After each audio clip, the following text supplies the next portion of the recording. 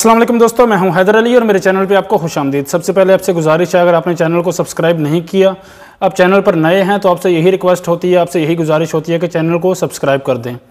आपको आपने देखा होगा, मैं अक्सर ये नहीं देखता कि मेरे चैनल को ये सब्सक्राइब कर चुके हैं या नहीं, इन्होंने ईमेल किया है, इनको रिप्लाई करना है या क्या करूँ या क्या नहीं। मेरी कोशिश होती है कि सब्सक्राइबर हैं या नहीं सब्सक्राइबर, कोई भी मेरा भाई अगर मैं उसका मसला हल कर सकता हूँ तो मैं उनको ज़रूर रिप्लाई करता हूँ, ईमेल में हो या फिर कॉमेंट में हो।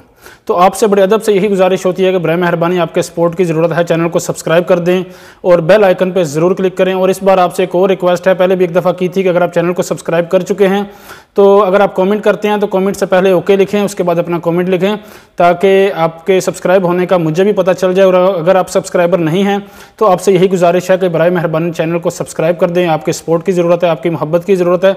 मैं कोई प्रोफेशनल यूट्यूबर नहीं हूँ कि मैं प्रोफेशनल यूट्यूब पे पहले ही काम कर रहा हूँ नया चैनल है उस पर काम कर रहा हूँ और पहले एक पे काम कर रहा था उसको ख़त्म किया है अभी इस पे काम कर रहा हूँ तो उम्मीद है आप सपोर्ट करेंगे आपकी मोहब्बत मिलेगी और इससे पहले आपने बहुत ज़्यादा प्यार दिया है बहुत मोहब्बत उन तमाम भाइयों का उन तमाम बहनों का खसूसी तौर पर शुक्रगुजार हूँ जो चैनल पर दूसरों की हेल्प कर रहे हैं दूसरों को गाइड कर रहे हैं किसी का कॉमेंट देखते हैं और उन्होंने वो काम करवाया है तो उसको रिप्लाई कर देते हैं उसको गाइड कर देते हैं मैं उनका खसूसी तौर पर शुक्रगुजार हूँ अलहमदिल्ला जो काम मैंने शुरू किया है, जो काम मैंने खुद करता हूँ और दूसरों को भी रिक्वेस्ट की है, दूसरों को भी, दूसरों से भी ये कहा है कि बर मेहरबानी, मेरे, मेरा साथ दें इस काम में जो मैं कर रहा हूँ, दूसरों की रहनमई हो जाए, दूसरे भी गाइड हो जाएँ, आपकी वजह से या मेरी वजह से तो आपको भी अजर है, मुझे भी अजर है, अल्लाह ताला सबको अपने हिफ्जमान में रखे। आज की वीडियो में कुछ फैमिली विज़िट वीज़ा पर सवाल किए गए थे, उसका जवाब दूँगा और एक भाई ने अमल मंजिली है, उनका प्रोफेशन है, वो पाकिस्तान में है तो उनका सवाल है कि भाई हम सऊदी अरब आना चाहते हैं तो अभी कैसे आए? कोरोना की वजह से मैं पाकिस्तान में फंसा हुआ हूँ। इसके अलावा एक सवाल था, एक बहन ने सवाल किया था, वो इंडिया से उनका ताल्लुक है, उनका फैमिली विज़िट वीज़ा था, उनकी, वो फैमिली विज़िट वीज़ा पर यहाँ आई थी। उसके बाद वापस अपने मुल्क गई हैं इंडिया में, उसके बाद नहीं आ सकें कोरोना की वजह से। तो उनका सवाल था कि वो कैसे वापस आ सकती हैं, उन्हें पता चला था कि इंडिया से लोग वाया दुबई आ रहे हैं। तो आज की वीडियो में उसका भी रिप्लाई करूँगा और इसके अलावा कुछ फैमिली विज़िट वीज़ा पर सवाल हैं, उनका रिप्लाई करूँगा। तो बर मेहरबानी, आपसे रिक्वेस्ट है कि वीडियो को पूरा देखिएगा। एक बहन है जिनका ताल्लुक इंडिया से है। उन्होंने सवाल किया था कि हमारी हम फैमिली विज़िट वीज़ा पर सऊदी अरब आए थे, उसके बाद इंडिया चले गए, अभी दोबारा वापस आना चाहते हैं तो परेशानी हो रही है। बर मेहरबानी कन्फर्म करके बता दें कि हम आ सकते हैं वापस या फिर नहीं। तो फैमिली विज़िट वीज़ा पर जो भी फैमिली थी जिनका ताल्लुक इंडिया से था साउथ इंडिया से उनका ताल्लुक था, जिन्होंने कमेंट किया था जिनका ताल्लुक इंडिया से था, वो फैमिली विज़िट वीज़ा पर यहाँ थे और वापस चले गए अपने मुल्क में और दोबारा आना चाहते हैं तो वाया दुबई या वाया बहरीन, वो आ सकते हैं। लेकिन वहाँ जब वो टिकट कराएँगी तो वहाँ उनको दुबई में चौदह दिन स्टे करना पड़ेगा। चौदह दिन स्टे करने के बाद वो दोबारा सऊदी अरब में एंटर हो सकती हैं, कोई मसला नहीं है। एंट्री का मसला नहीं है कि वो एंटर ही नहीं हो सकती अगर वो वाया दुबई आती हैं तो 14 डेज़ उनको वहाँ स्टे करना है, उसके बाद वो दोबारा सऊदी अरब में एंटर होंगी। यानी कि आने का कोई मसला नहीं आ सकती हैं, लेकिन जो रूल उन्होंने बताए हैं, वो आपको फॉलो करने होंगे 100 परसेंट कन्फर्म और इसके अलावा एक भाई हैं जिनका प्रोफेशन आमल मंजली का है। उनका सवाल था कि मैं छुट्टी ख़त्म हो गई है, सऊदी अरब से वापस, सऊदी अरब वापस नहीं गया तो अभी क्या करना होगा? भाई, ये सवाल मेरे से एक और भाई ने किया था जिनका प्रोफेशन साई खास का था। साई खास अमल मंजली जो प्रोफेशन है, उनका जो कफ़ील होता है यानी कि ये घर का ड्राइवर जो साई खास होता है या फिर अमल मंजली होता है प्रोफेशन उनका कफ़ील ही उनका सारा काम करता है। तो आप कफ़ील से बात करें, कफ़ील आपका हंड्रेड परसेंट जो छुट्टी है वो बढ़ा देगा, आपका वीज़े की डेट बढ़ जाएगी। आप जब हालात नॉर्मल होंगे, अभी भी वैसे पाकिस्तान से तो लोग आ रहे हैं, कोई मसला नहीं है। अगर आपकी छुट्टी बिल्कुल ख़त्म हो चुकी है, आपके कफ़ील ने नहीं बढ़ाई थी, कुछ अर्सा पहले गवर्नमेंट ने ऐलान किया था कि आपका कफ़ील, आप अमल मंजिली पर हैं या किसी भी और प्रोफेशन पर हैं तो आपका कफ़ील अबशर के ज़रिए आपकी छुट्टी बढ़ा सकता है, कोई मसला नहीं है। और आपका तो प्रोफेशन ही मसला ही अलग है तो आप कफ़ील से बात करें, वो आपकी छुट्टी बढ़ा देगा डेट बढ़ा देगा, उस हिसाब से आप जब आना चाहें, आप आ सकते हैं। ऐसे बहुत से भाई फंसे हुए हैं।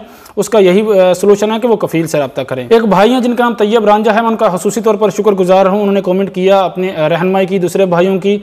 और उन्होंने जो कमेंट किया है कि मेरा, मेरे भाई ने फैमिली विज़िट वीज़ा जिनका प्रोफेशन आमल आईडी का था। इस बात पे गौर कीजिए, ये बहुत से कमेंट आते हैं, वही प्रोफेशन होता है।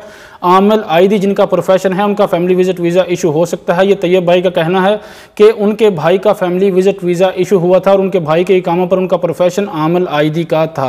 यानी कि आमल आई पे विज़िट वीज़ा इशू हो रहे हैं, कोई मसला नहीं है। एक और मेरे से गुजारिश की गई थी कि फैमिली विज़िट वीज़ा वाले जब यहाँ आते हैं तो डिलीवरी में बाज़ात उनकी वाइफ प्रेगनेंट होती हैं या फिर यहाँ आने के बाद प्रेगनेंट होती हैं तो उसमें उनको परेशानी होती है। जैसा कि अभी मसला हुआ है, पहले जो मेरे भाई विज़िट वीज़ा पर यहाँ सऊदी अरब में मौजूद थे, और कोरोना की वजह से उनका विज़िट वीज़ा ख़त्म होने वाला था। बाद में गवर्नमेंट ने फैमिली विज़िट वीज़ा एक्सटेंड कर दिया है तीन तीन माह करके तीन चार दफ़ा एक्सटेंड हुआ है। अभी भी दिसंबर के लास्ट तक फैमिली विज़िट वीज़ा एक्सटेंड हो रहे हैं। यानी कि उनका विज़िट वीज़ा जो था, वो एक साल का था, लेकिन स्टे उनका दो साल हो गया तो ऐसे में उनको बहुत परेशानी हो रही है, या फिर जिनका दो साल का था, उन्हें भी परेशानी होती है, अगर उनकी वाइफ प्रेगनेंट है, या फिर कोई ऐसा एमरजेंसी मसला बन गया तो उन्हें इंश्योरेंस क्लेम करनी होती है तो परेशानी होती है।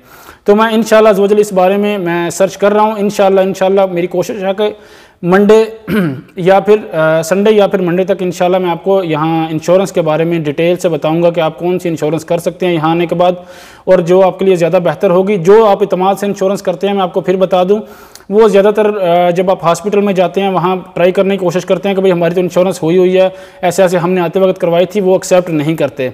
उसका जो तरीकाकार होता है, वहाँ उनको ईमेल फॉरवर्ड करना होता है, बाद में उनकी मर्ज़ी है, वो रिप्लाई करें, या ना करें। ज़्यादातर ये एमरजेंसी केसेज में अप्रूव होती है क्लेम कर सकते हैं आप अतमाद की इंश्योरेंस लेकिन उसके अलावा अगर आप यहाँ आने के बाद यहाँ की इंश्योरेंस करवाना चाहते हैं तो उसके बारे में मैं सर्च कर रहा हूँ। इनशाला इनशाला कंप्लीट डिटेल से मैं 100 परसेंट इन्फॉर्मेशन लेके आपको आगाह करूँगा। जब फैमिली विज़िट वीज़ा पर आप प्रेग्नेंट होती हैं या फिर आपकी वाइफ प्रेग्नेंट हैं तो उसमें बहुत ज़्यादा बहुत ज़्यादा मसले मसाइल होते हैं बहुत ज़्यादा परेशानियाँ होती हैं।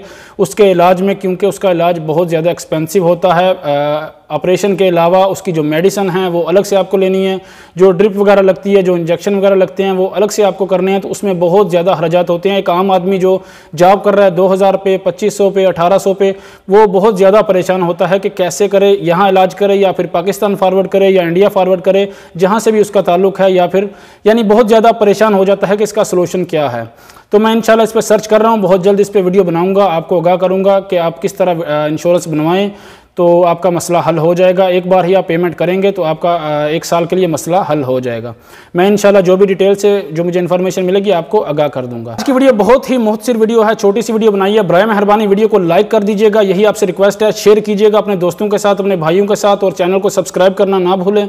और बेल आइकन पर ज़रूर क्लिक कीजिएगा ताकि मेरी आने वाली हर नई वीडियो का नोटिफिकेशन आपको मिल सके।